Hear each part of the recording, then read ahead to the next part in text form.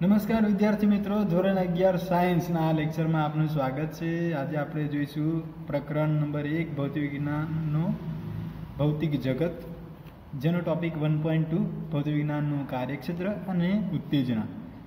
તો અગાઉના લેક્ચરમાં આપણે ચર્ચા કરી જ ચૂક્યા છે કે ભૌતિક વિજ્ઞાન વિષય એ ખૂબ જ મોટા વિજ્ઞાનના વિસ્તારને આવરી લે છે.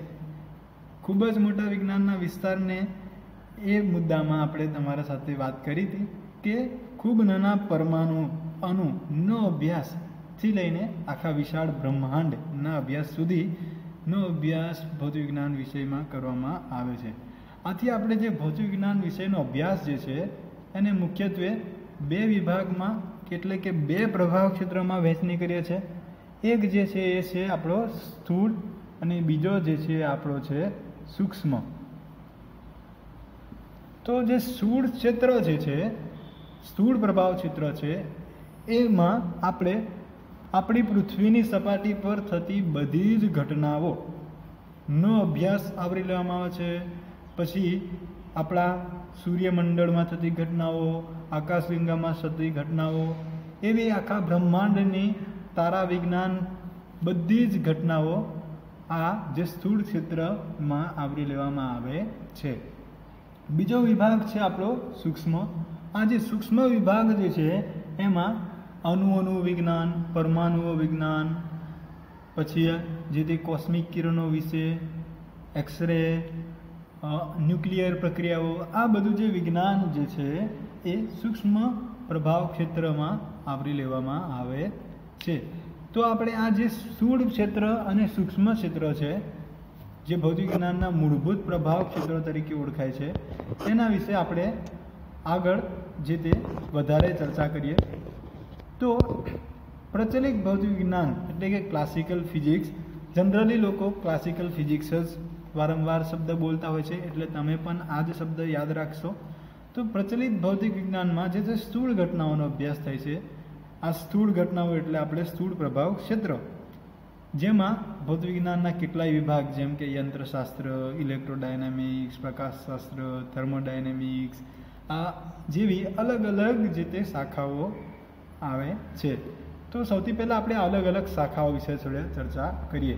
યંત્રશાસ્ત્ર એટલે કે મિકેનિક્સ તો મિકેનિક્સની અંદર ઘણા બધા બેઝિક તમે જે નિયમો ભણ્યા છે, ન્યૂટનના ગતિના નિયમો, ગુરુત્વાકર્ષણના નિયમો જે ન્યૂટન દ્વારા આપેલા હતા આ નિયમોનો અભ્યાસ કરીને જ મોટાભાગના યંત્રો, તમારા ઘરે કદાચ પંખો હશે બાઇક હશે, તો આ બધા જેટલા બી ઉપકરણો તમે જોઈ રહ્યો છે, એ આ યંત્રશાસ્ત્ર મિકેનિક્સની શાખાના નિયમો પ્રમાણે બનાવેલા છે.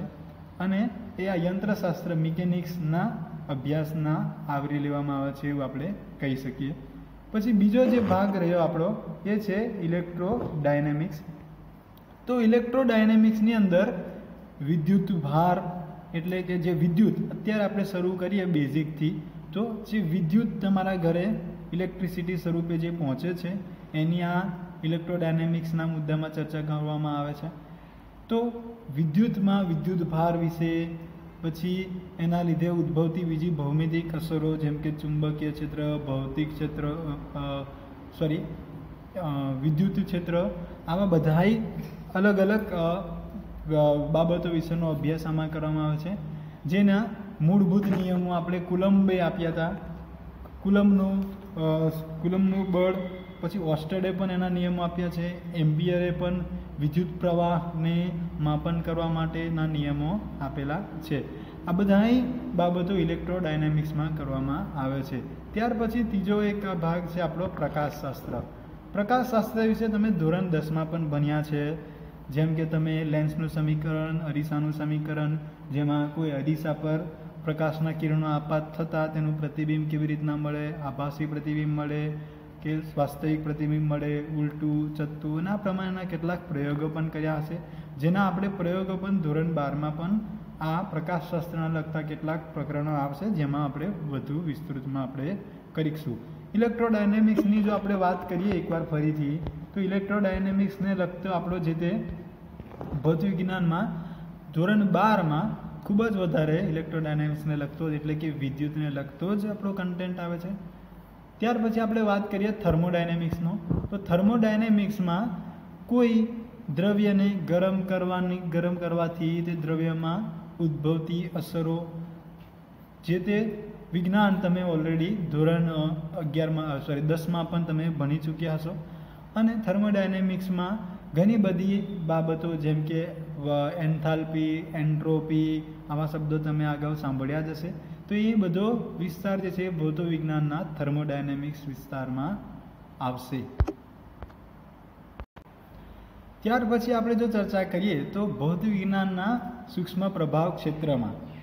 સૂક્ષ્મ પ્રભાવ ક્ષેત્રમાં આપણે ચર્ચા કરી હતી કે અણુ, પરમાણુઓ અને ન્યુક્લિયસ વિશેનો અભ્યાસ જે ત્યાં સૂક્ષ્મ પ્રભાવ ક્ષેત્રમાં કરવામાં આવે છે. ન્યુક્લિયસનું બંધારણ કેવી રીતના બનેલું છે? તેની સંરચના કેવી રીતના છે?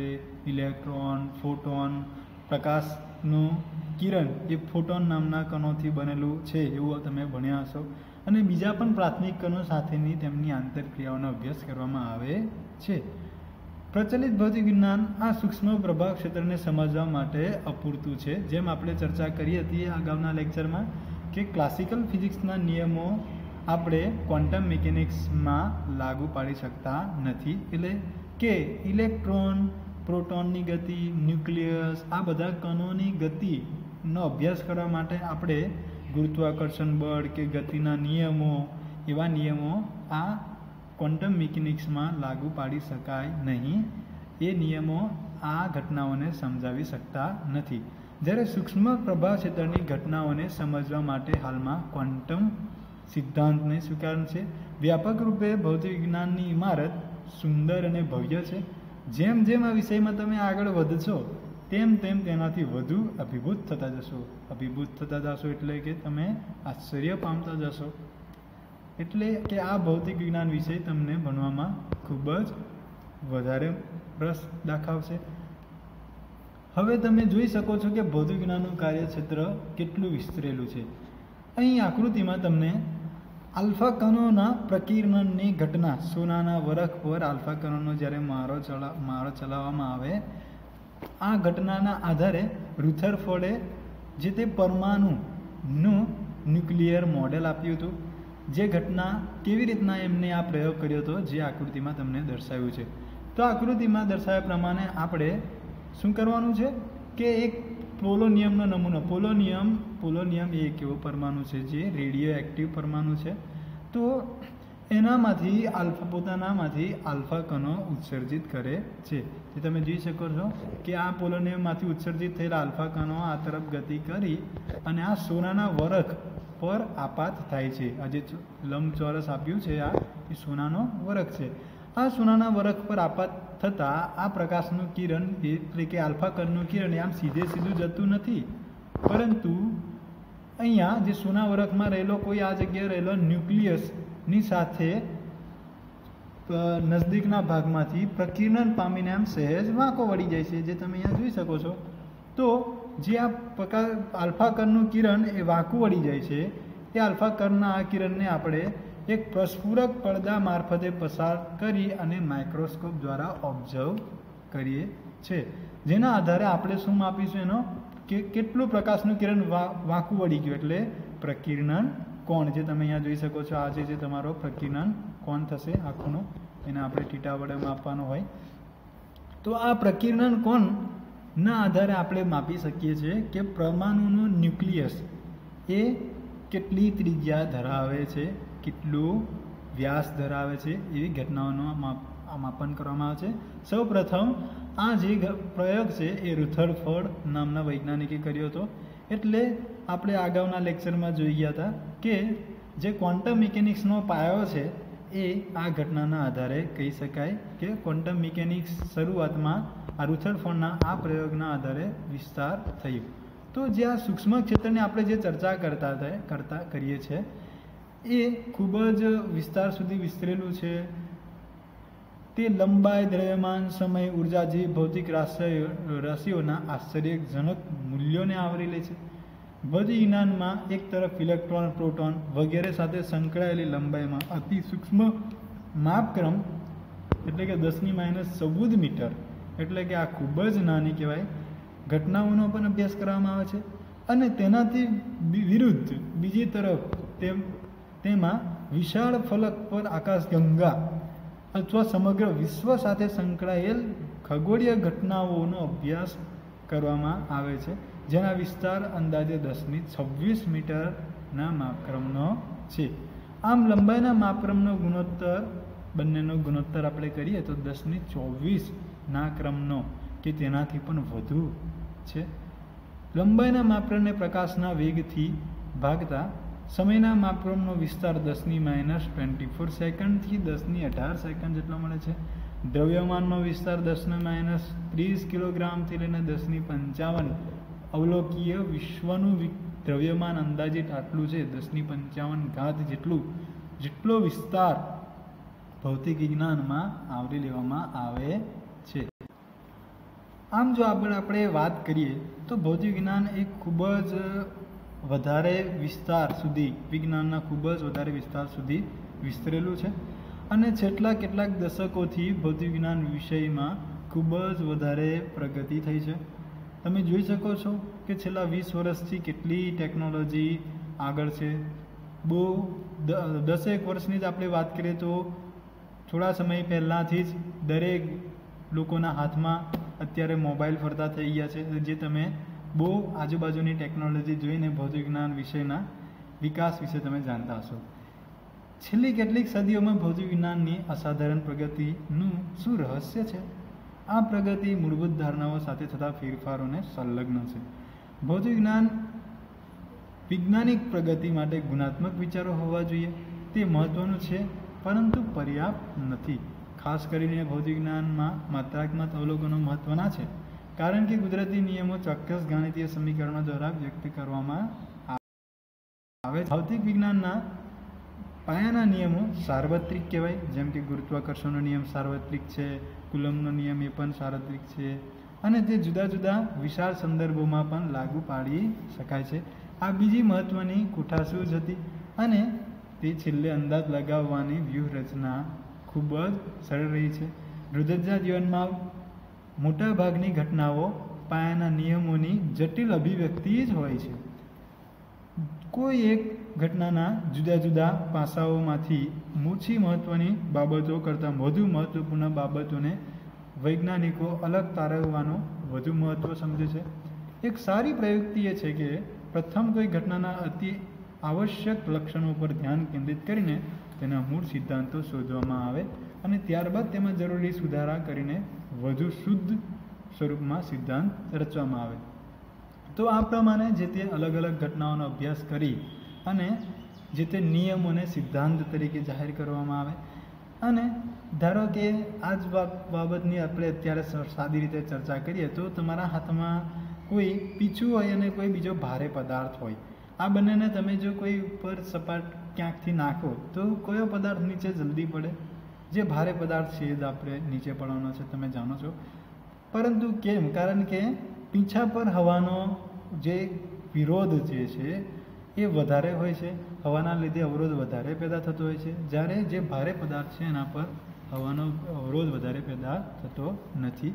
તેથી આવી ઘટનાઓનો કે આવા અલગ અલગ અનેક અનેક પ્રયોગો કરીને તમારો જે તે ભૌતિક જ્ઞાન વિષયનો અભ્યાસ કરીને એને નિયમો અને સિદ્ધાંતો બનાવવામાં આવે છે. ત્યાર પછી આપણે જોઈશું next topic one point three ભૌતિક જ્ઞાન ટેકનોલોજી અને સમાજ. તો ભૌતિક જ્ઞાન જે છે એ ટેકનોલોજીની સાથે કેવી રીતના સંકળાયેલું છે? સામાજિક નિયમો સાથે કેવી રીતના સંકળાયેલું છે?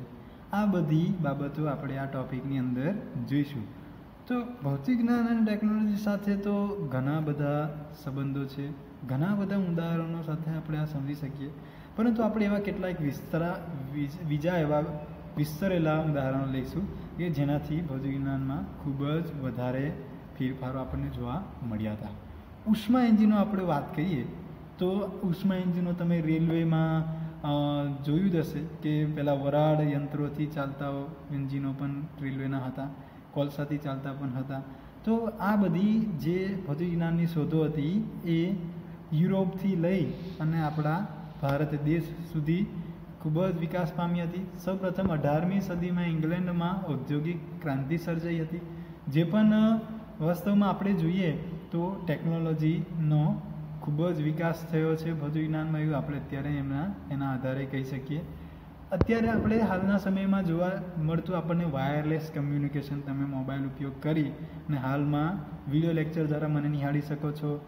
તમારા મિત્રો સાથે પણ તમે ફોન પર વાત કરી શકો છો. તો આવા ઘણી બધી જે વાયરલેસ કમ્યુનિકેશન એટલે જેમાં વાયર વગર કમ્યુનિકેશન થઈ શકે છે, એવો પણ આધુનિક યુગ તમે ટેકનોલોજીમાં જોઈ શકો છો. વર્ષ ઓગણીસો ને તેત્રીસના અંત સુધીમાં મહાન ભૌતવિજ્ઞાની અર્નેસ્ટ રુથરફોર્ડે પરમાણુમાંથી ઉર્જાના ઉત્સર્જનની ઘટનાને નકારી ચૂક્યા હતા. પરંતુ થોડા વર્ષ બાદ જ હાન અને મિટનરે ન્યૂટ્રોનનો ચલાવી ચલાવીને યુરેનિયમ ન્યુક્લિયસની વિખંડનની ઘટના સુધી એટલે કે યુરેનિયમના પરમાણુને તોડી અને ખૂબ જ પ્રમાણમાં ન્યુક્લિયર ઊર્જા મેળવી આ બંને વૈજ્ઞાનિકોએ, હાન અને મિટનરે. અને આ ન્યુક્લિયર ઉર્જાનો હાલમાં આપણે આપણા ભારત દેશમાં પણ, બેંગ્લોરમાં કેટલાય ન્યુક્લિયર ઉર્જાના રિએક્ટરો અને પ્લાન્ટ્સ આવેલા છે. અને જેના દ્વારા આપણે વિશાળ પ્રમાણમાં ઊર્જા ઉપયોગ કરીએ છે. ત્યાર પછી જો બીજી વાતો કરીએ, તો કે કમ્પ્યુટરની ક્રાંતિ, એ પણ ખરેખર એક ભૌતિક વિજ્ઞાનનો જ ભાગ કહેવાય. કમ્પ્યુટર વિજ્ઞાન વધ્યું છે. જેટલી પણ ટેકનોલોજી આવે છે, જેમ જેમ માણસ અત્યારે આગાઉના જીવનમાં જીવવા જઈ રહ્યો છે, તેમ કમ્પ્યુટર વગર તો જાણે જીવન શક્ય છે જ નહીં એવું લાગી રહ્યું છે. તો જે એ પણ છે, એ પણ એક યંત્રશાસ્ત્રના નિયમોના આધારે જ કામ કરે છે. પછી એ સિવાય જો ચર્ચા કરીએ, તો કેટલી પ્રકારની એવી ઉર્જાઓ જે પુનઃપ્રાપ્ય ઉર્જાઓ નથી? અને પુનઃપ્રાપ્ય ના હોય એવી ઉર્જાઓ એટલે કે આપણા વાતાવરણને, કે આપણા પૃથ્વીની જમીનને પ્રદૂષણ વધારે કરે છે. અને જેથી આપણે એવી ઉર્જાનો ઉપયોગ કરવો જોઈએ કે જે પુનઃ પ્રાપ્ય હોય. એટલે હાલમાં ઘણી બધી એવી ટેકનોલોજી દ્વારા પુનઃ પ્રાપ્ય ઉર્જાઓ મેળવવા માટેના પ્રયાસો કરવામાં આવી રહ્યા છે. સૌર ઊર્જા, ભૂતાપીય ઉર્જાનું વિદ્યુત ઉર્જામાં રૂપાંતરણ કરવું એ પણ એક પ્રકારનું પુનઃપ્રાપ્ય અને પ્રદૂષણ રહિત ઊર્જા મેળવવાનું ઉદાહરણ થશે. અને આ બાબતે વૈજ્ઞાનિકોનું ખૂબ જ મોટું યોગદાન રહેલું છે. અલગ અલગ પ્રકારની ટેકનોલોજી, આ ભૌતિક જ્ઞાનનું કાર્યક્ષેત્ર અને ઉત્તેજના જે આપણે જોયું, એમાં અલગ અલગ જે તે વૈજ્ઞાનિકો દ્વારા અલગ અલગ યંત્રોની શોધ કરવામાં આવી છે, અલગ અલગ નવી નવી શોધો કરવામાં આવી છે, અલગ અલગ કણોની શોધો કરવામાં આવી છે, જેના વિશે આપણને આ ટેબલ કોષ્ટક નંબર એક પોઈન્ટ એકમાં આપેલું છે, જે આપણે જોઈએ. તો કોષ્ટક એક દુનિયાના જુદા જુદા દેશોના કેટલાક ભૌતિકના વૈજ્ઞાનિકોએ તેમનું મહત્ત્વનું યોગદાન તો કયા કયા વૈજ્ઞાનિકોએ કઈ કયા શોધ કરી છે તમારા પાઠ્યપુસ્તકના ટેબલ વન પોઈન્ટ વનમાં આપ્યું છે? તો આર્કિમિડીઝે ઉત્પ્લાવનનો સિદ્ધાંત અને ઉચ્ચારણનો સિદ્ધાંત આપ્યો હતો, જેના વિશે તમે આગળ ભણ્યા છો. ગેલેલીઓએ જડત્વનો નિયમ આપ્યો છે. પછી ક્રિશ્ચન હાઇગેન્સે પ્રકાશ તરંગનો સિદ્ધાંત આપ્યો છે, જેના વિશે આપણે ધોરણ અગિયારમાં ભણીશું ભણીશું સોરી ધોરણ બારમાં ભણીશું. આઇઝેક ન્યૂટનને તો શું શોધ કરી છે, તમને જાણો જાણો જ છો. ઘણી બધી આઇઝેક ન્યૂટનના સાર્વત્રિક નિયમો વિશેની થિયરીઓ તમે ભણ્યા હશે. ગુરુત્વાકર્ષણનો શારીરિક નિયમ, ગતિના નિયમો, પરાવર્તક ટેલિસ્કોપ, પછી માઇકલ ફેરેડેના નિયમો પણ તમે ભણ્યા જશો વિદ્યુત ચુંબકીય કિરણમાં ધોરણ દસમાં જ ભણ્યા છે. જમણા હાથનો નિયમ, જમણા હાથના અંગૂઠાનો નિયમ, આવું તમે સાંભળ્યું જ છે. પછી આગળ પણ આપણે ચર્ચા કરીએ તો જે જે થોમ્સને ઇલેક્ટ્રોનની શોધ કરી હતી રોન્જને એક્સરેની શોધ કરી હતી જે તે આલ્બર્ટ આઇન્સ્ટાઈનની ફોટો ઇલેક્ટ્રિક અસરની શોધ. આ જે આલ્બર્ટ આઇન્સ્ટાઈનની ફોટો ઇલેક્ટ્રિક અસરની શોધ અને સાપેક્ષતાનો સિદ્ધાંતના લીધે આલ્બર્ટ આઇન્સ્ટાઈન ભૌતિક વિજ્ઞાન વિષયના ખૂબ જ પ્રખ્યાત વૈજ્ઞાનિક તરીકે ઓળખાય છે, જે સાપેક્ષતાનો સિદ્ધાંતમાં તેમને દ્રવ્યનું ઉર્જામાં રૂપાંતરણ કેવી રીતે કરી શકાય? કોઈપણ પદાર્થમાં દ્રવ્ય સમાયેલું છે. તો એ દ્રવ્યને માંથી ઊર્જા કેવી રીતના રૂપાંતરણ કરી શકાય એ સાપેક્ષતાના સિદ્ધાંતમાં આલ્બર્ટ આઇન્સ્ટાઈને સમજાવ્યું હતું. ત્યાર પછી આગળ જોઈએ તો કોસ્મિક કિરણોની શોધ ફ્રાન્સિસ હેઇજે કરી હતી. પરમાણુનું મોડેલ અર્નેસ રુથરફોર્ડે આપ્યું હતું. આવા ઘણાય બધા તમને અહીંયા ટેબલની અંદર આપેલા છે. જેમાંથી જરૂરી હોય એટલા અને મને મને લાગે છે ત્યાં સુધી બધા જ તમારે યાદ રાખવાનો કોશિશ કરવો જોઈએ. હાઇડ્રોજન પરમાણુનું મોડેલ નીલ ઓવરે આપ્યું હતું.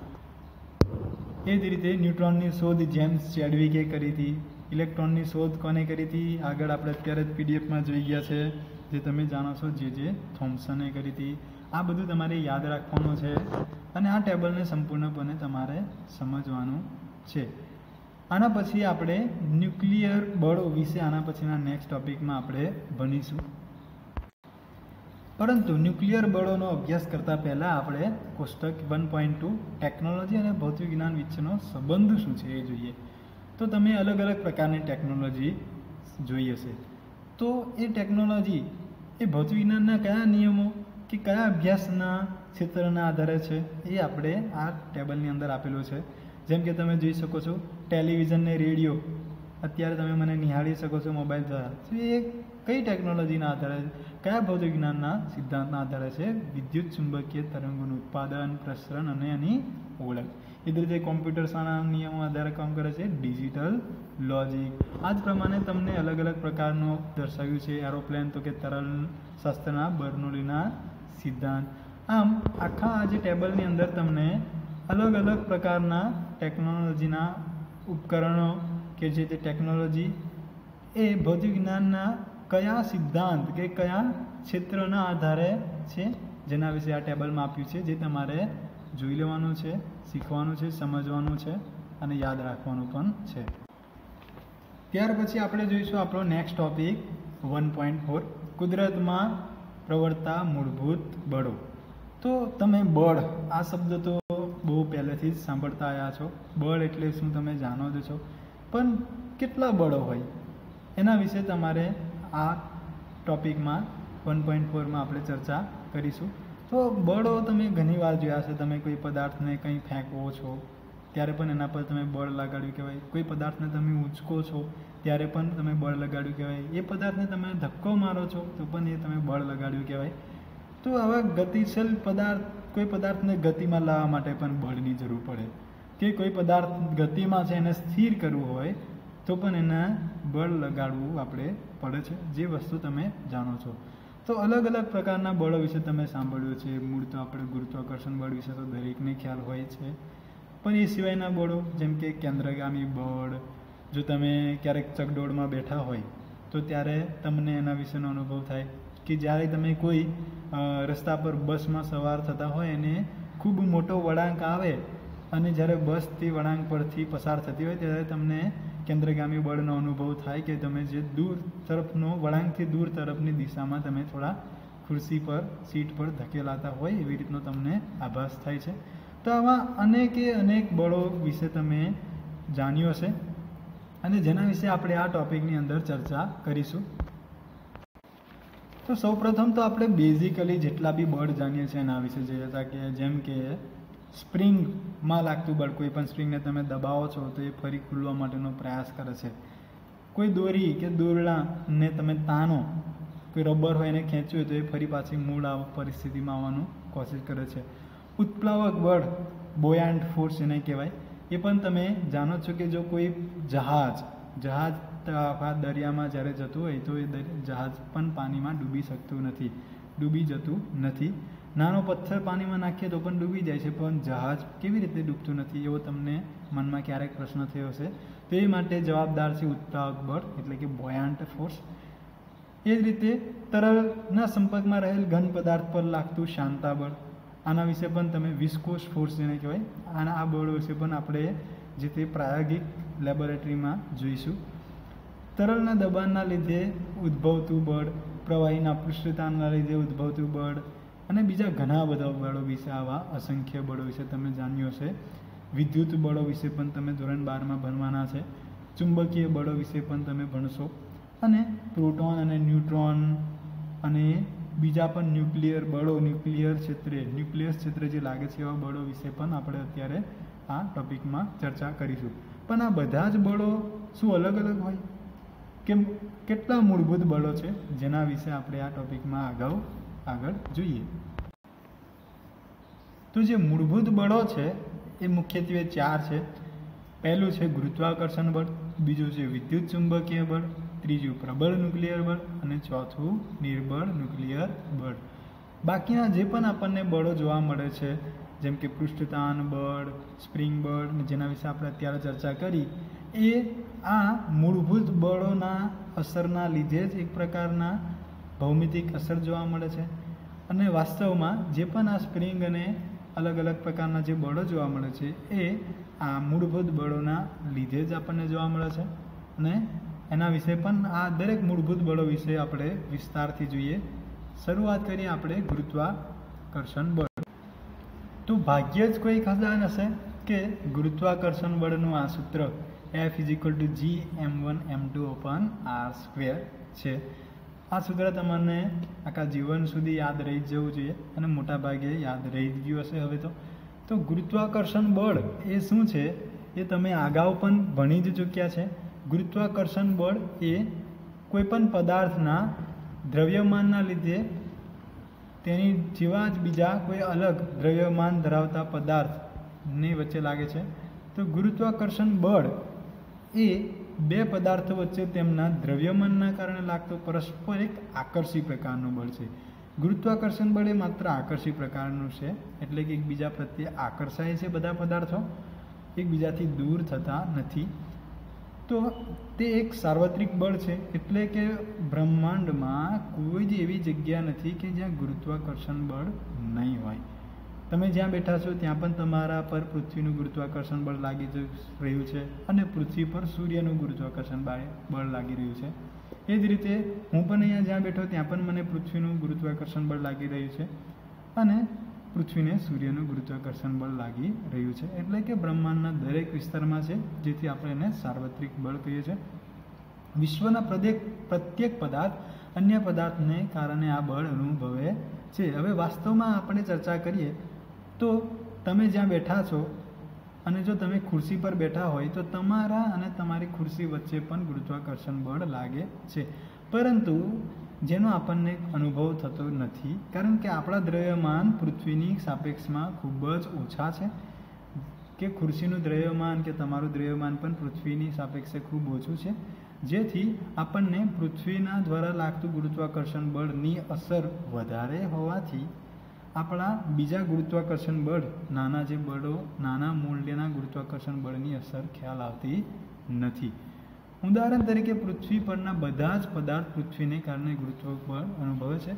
ખાસ કરીને પૃથ્વીને અનુલક્ષીને પૃથ્વીની આસપાસ ચંદ્ર અને માનવ સર્જિત ઉપગ્રહોનું પરિભ્રમણ, સૂર્યની આસપાસ પૃથ્વી તથા અન્ય ગ્રહોનું પરિભ્રમણ અને પૃથ્વી પર પડતા પદાર્થોની ગતિ, એટલે કે ઉલ્કાઓ. ગુરુત્વ બળ દ્વારા નિયંત્રિત થાય છે. વિશ્વની વિશાળ સ્તરીય ઘટનાઓ જેમ કે તારા વિશ્વ, તારા આકાશગંગા આકાશગંગાના ઝુમકાઓની રચના અને વિકાસમાં ગુરુત્વાકર્ષણ બળની મુખ્ય ભૂમિકા રહેલી છે.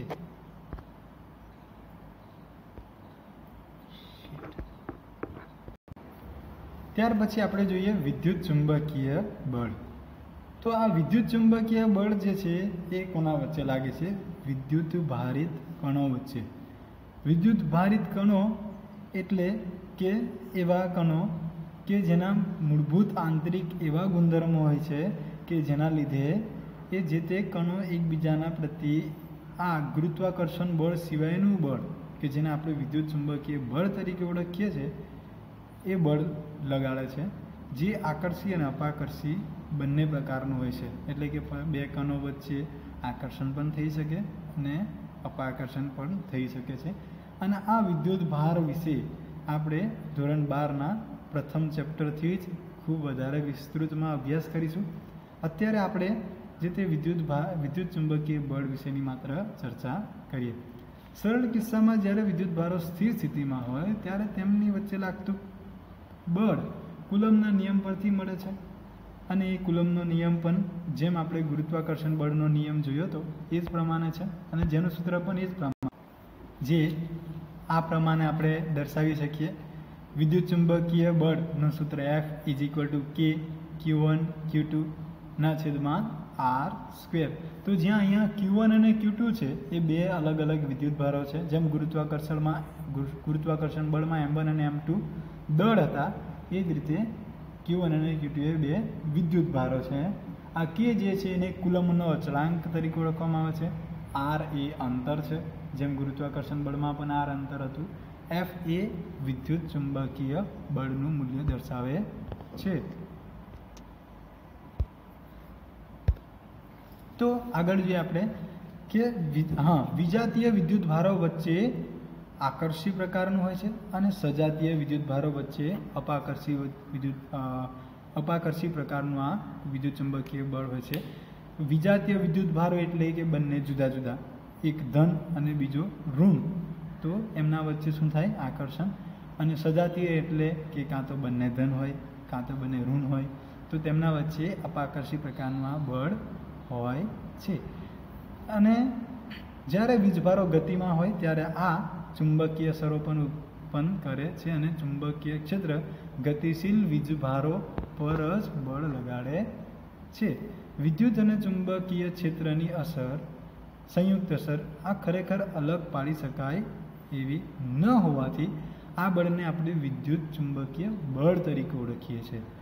ચુંબકત્વનું પણ આખું વિજ્ઞાન આવે છે. વિદ્યુતનું પણ આખું વિજ્ઞાન છે. જેથી આ બંનેની અસર એક સંયુક્ત રીતે સાથે જ છે. એટલે આપણે અલગ નથી પાડતા અને આ બળને આપણે એક જ નામ આપ્યું છે વિદ્યુત ચુંબકીય બળ. ગુરુત્વાકર્ષણ બળની માફક જ વિદ્યુત ચુંબકીય બળ પણ ગુરુ અંતરીય છે. લાંબા અંતર સુધી વિદ્યુત ચુંબકીય બળ પણ લાગે છે. ગુરુત્વાકર્ષણ એ ગુરુ અંતરીય છે એવું આપણે ચર્ચા કરી હતી કે એ બહુ લાંબા અંતર સુધી અહીંયા પૃથ્વીથી સૂર્ય સુધી, સૂર્યથી તારા સુધી આ પ્રમાણે પણ ગુરુત્વાકર્ષણ બળ છે. એ જ રીતે આ વિદ્યુત ચુંબકીય બળ પણ ગુરુ અંતરીય છે. તથા તેમને લાગવા માટે તેમની વચ્ચે કોઈ માધ્યમની જરૂર પડતી નથી. પરંતુ જે વિદ્યુત ચુંબકીય બળ છે, એ ગુરુત્વાકર્ષણ બળ કરતાં અતિશય પ્રબળ છે. કોઈ ચોક્કસ અંતરે રહેલા બે પ્રોટોન વચ્ચે ગુરુત્વાકર્ષણ બળ પણ લાગશે અને વિદ્યુત ચુંબકીય બળ પણ લાગશે. પરંતુ ગુરુત્વાકર્ષણ બળ કરતાં વિદ્યુત બળ દસની છત્રીસ ઘાત ઘણું મોટું હોય છે. એટલે આ બળ ખૂબ જ વધારે છે કહેવાય. જેથી ગુરુત્વાકર્ષણ બળથી બે પ્રોટોન એકબીજાને અડી જતા નથી, પણ એકબીજાથી થોડા દૂર રહેતા હોય છે. આપણે જાણીએ છીએ કે દ્રવ્ય એ ઇલેક્ટ્રોન, પ્રોટોન અને તેના જેવા બીજા વીજભારિત કણોનું બનેલું છે. વિદ્યુત ચુંબકીય બળ ગુરુત્વાકર્ષણ બળ કરતાં ઘણું બધું પ્રબળ હોવાથી આણ્વિક અને પરમાણુિક સ્તરે થતી ઘટનાઓમાં ચુંબકીય બળનું, વિદ્યુત ચુંબકીય બળનું પ્રભુત્વ છે. એટલે કે વધારે મોટું બળ છે એવું કહેવાય. બીજા બે બળો જેનો અભ્યાસ આના પછી હવે જે કરીશું, તે માત્ર આપણને ન્યુક્લિયસના માપક્રમ સુધી જ જોવા મળે છે. એટલે કે પરમાણુના કેન્દ્ર સુધી જોવા મળે છે. ન્યુક્લિયસ એટલે કે પરમાણુનું કેન્દ્ર, જે તમે અગાઉના ધોરણોમાં ભણી ચૂક્યા છો. તેમ છતાં આપણે એકવાર ચર્ચા કરી લઈએ. તો જેમ ચર્ચા આપણે કરીશું કે ન્યુક્લિયર બળ, તો ન્યુક્લિયર બળ જે છે એ મુખ્યત્વે બે પ્રકારના છે, પ્રબળ ન્યુક્લિયર બળ અને નિર્બળ ન્યુક્લિયર બળ. આ આકૃતિમાં મેં તમને એક પરમાણુનું સાદું મોડેલ બતાવ્યું છે.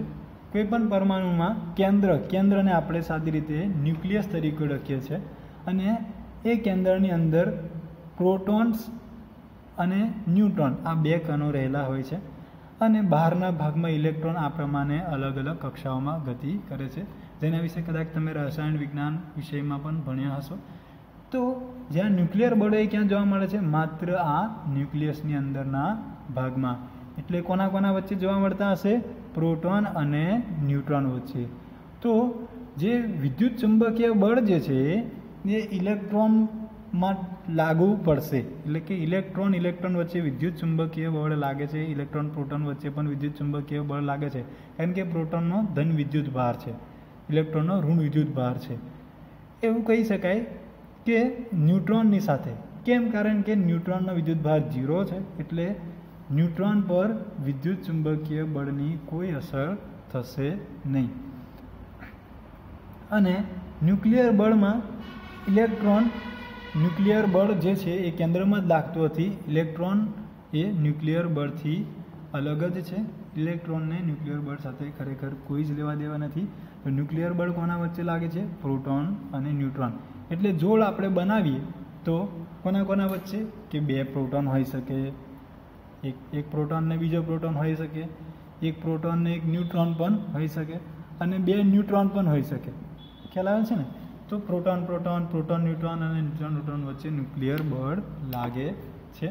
જ્યારે વિદ્યુત ચુંબકીય બળ, એના સંદર્ભમાં આપણે વિદ્યુત ચુંબકીય બળની વાત કરીએ, તો એ પ્રોટોન છે અને ઇલેક, પ્રોટોન છે અને ઇલેક્ટ્રોન વચ્ચે. ઇલેક્ટ્રોન ઇલેક્ટ્રોન વચ્ચે, પ્રોટોન પ્રોટોન વચ્ચે પણ છે. અને એ સિવાયના બીજા પણ જે પણ ધન અને ઋણ વિદ્યુત ભારો કે આયનો હોય, એના વચ્ચે પણ આપણે વિદ્યુત ચુંબકીય બળ લાગશે. ત્યાર પછી આપણે આપણે જોઈએ પ્રબળ ન્યુક્લિયર બળ વિશે. પ્રબળ ન્યુક્લિયર બળ એ પ્રોટોન અને ન્યુટ્રોનને ન્યુક્લિયસમાં જકડી રાખે છે. જેમ અત્યારે આપણે જોયું કે કેન્દ્રમાં પ્રોટોન અને ન્યુટ્રોન જે છે, એમને કેન્દ્રની અંદર જ પકડી રાખે છે આ બળ. એ સ્પષ્ટ છે કે આકર્ષી પ્રકારના કોઈ પણ બળ વગર પ્રોટોન વચ્ચે લાગતા વિદ્યુતીય અપાકર્ષણને લીધે ન્યુક્લિયસ અસ્થાયી બની જાત. એટલે આપણે જોયું અત્યારે કે વિદ્યુત ચુંબકીય બળના લીધે જો પ્રોટોન પ્રોટોન વચ્ચે અપાકર્ષણ થાય તા તો ન્યુક્લિયસની બહાર નીકળી ગયા હોત. પરંતુ એવું થતું નથી. કેમ? કારણ કે પ્રબળ ન્યુક્લિયર બળ એ એનાથી કરતાં પણ વધારે પ્રબળ છે. અને એ આ બધા પ્રોટોનને ન્યુક્લિયસમાં એકબીજાને જકડી રાખે છે, પકડી રાખે છે એવું સાદી રીતે કહી શકાય. આ આકર્ષિત બળ ગુરુત્વીય બળ તો ના જ હોઈ શકે. આપણે જાણીએ જ છે કે ગુરુત્વાકર્ષણ બળ તો વિદ્યુત ચુંબકીય બળ કરતાં નબળું હતું. વિદ્યુત ચુંબકીય બળ દસની છત્રીસ ઘત ઘણું પ્રબળ છે, ગુરુત્વાકર્ષણ બળ કરતાં. તો આ પ્રોટોન અને ન્યુટ્રોનને જકડી રાખનારું બળ એ ગુરુત્વાકર્ષણ બળ તો ના જ હોય. તો આ બળને આપણે પ્રબળ ન્યુક્લિયર બળ તરીકે આપણે નામ આપ્યું છે.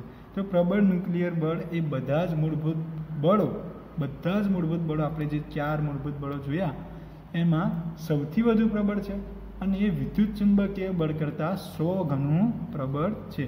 તે વિદ્યુત ભાર પર આધારિત નથી. તે ધન કે ઋણ વિદ્યુત ભાર હોય તો જ લાગે એવું નથી. એ માત્ર પરમાણુના ન્યુક્લિયસના કેન્દ્રમાં પ્રોટોન અને ન્યુટ્રોન વચ્ચે લાગે છે. વિદ્યુત ભારના લીધે જે તે વિદ્યુત ચુંબકીય બળ લાગે, ન્યુક્લિયસમાં ન્યુક્લિયર બળ લાગે અને ગુરુત્વાકર્ષણ બળ જે તે પદાર્થના દળના લીધે લાગે છે, એ તમારે આપણે યાદ રાખવાનું છે.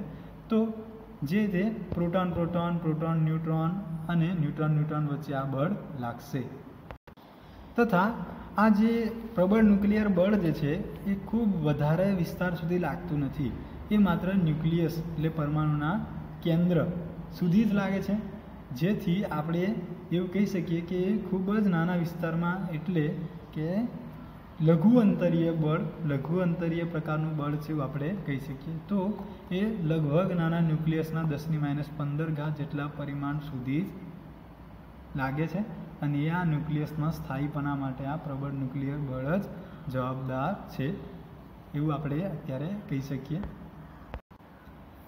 ત્યાર પછી આપણે જોઈએ નિર્બળ ન્યુક્લિયર બળ, એટલે કે વીક ન્યુક્લિયર ફોર્સ. તો જે નિર્બળ ન્યુક્લિયર બળ એ આ ન્યુક્લિયસમાં જ જોવા મળે છે. પરંતુ ન્યુક્લિયસમાં પણ કેટલીક પ્રક્રિયાઓ થતી હોય છે, પ્રોટોન અને ન્યુટ્રોન વચ્ચે.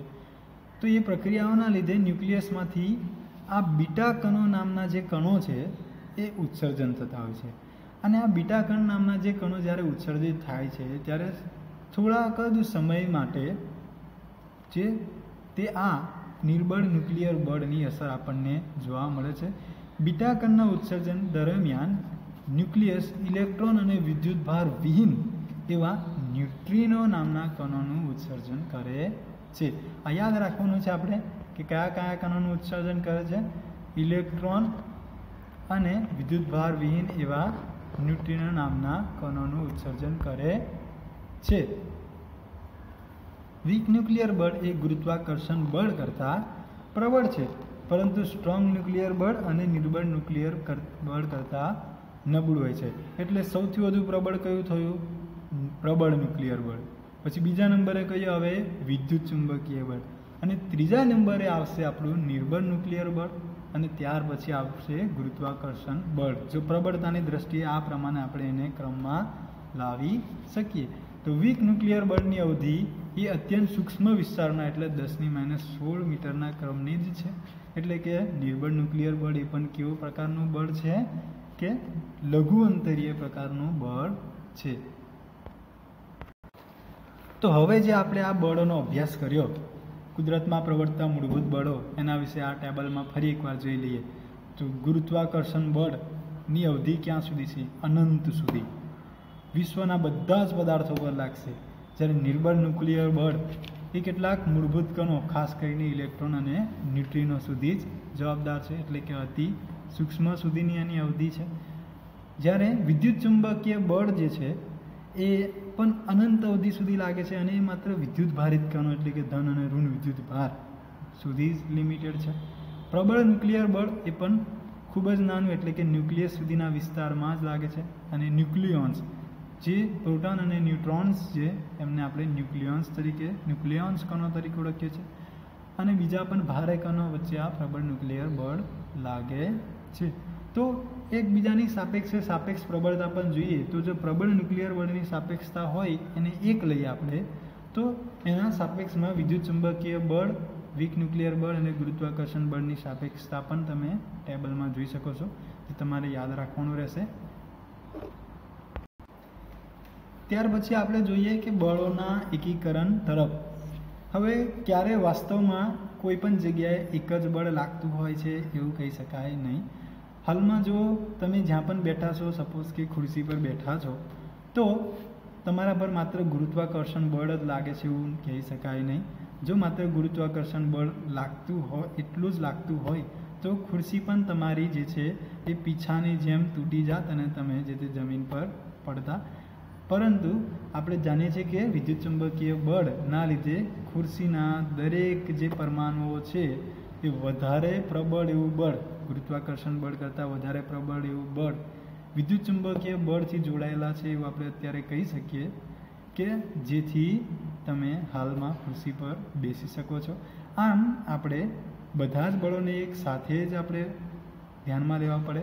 કોઈ પણ પ્રાયોગિક રીતે કોઈ પ્રયોગ કરવો હોય, કે કોઈ ઉદાહરણનો આપણે અભ્યાસ કરવો હોય, ત્યારે બધા બળોને આપણે એક સાથે ધ્યાનમાં લેવા પડે. તો જે તે વિસ્તૃતમાં તમને આ ટોપિક બુકમાં પણ આપ્યો છે. જે ટોપિકને તમારે જરા ધ્યાનથી એકવાર વાંચવાનો છે. અને એ જ સાથે આપણે આજનો આ લેક્ચર, એટલે કે શરૂ આપણે કર્યો હતો કે વિદ્યુત આપણે ભૌતિક વિજ્ઞાનનું કાર્યક્ષેત્ર ક્યાંથી શરૂ થાય છે? અને એના મૂળભૂત બળો સુધી આપણે આજે જોઈ ગયા છે. બધાને આ ભૌતિક વિજ્ઞાનના આ શરૂઆતના જે ટોપિક છે એ મને સમજાવવામાં ખૂબ જ મજા આવી છે. દરેક વિદ્યાર્થીને મારા તરફથી આશા છે કે તમે આ મૂળભૂત જે બાબતો છે ભૌતિક વિજ્ઞાનની એ સંપૂર્ણપણે અને સારી રીતે જાણવાની તમે કોશિશ કરશો. તમારો પોતાનો પણ રસ દેખાડશો. અને વ્યવસ્થિત અને સારી રીતે આ પૂરેપૂરો ટોપિક જોઈ અને સમજી લેશો. અને વારંવાર આ જે ટોપિકનું છે એ બેથી ત્રણ વાર તમે વાંચન કરજો, સમજવાનો પ્રયત્ન કરજો. અને જો ના ખ્યાલ આવે તો તમે મને મારા પર્સનલ કોન્ટેક નંબર પર કોન્ટેક પણ કરી શકો છો. એ જ સાથે આજનો આપણે આ લેક્ચર સંપૂર્ણપણે પૂરો કરીએ છીએ. અને આવતીકાલના નેક્સ્ટ લેક્ચરમાં આપણે મળીશું.